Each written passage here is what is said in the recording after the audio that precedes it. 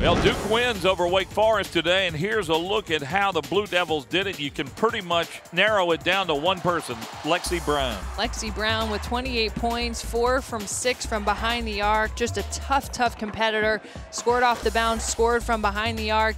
This is her fourth straight game with 22 plus points. She takes this team to the next level.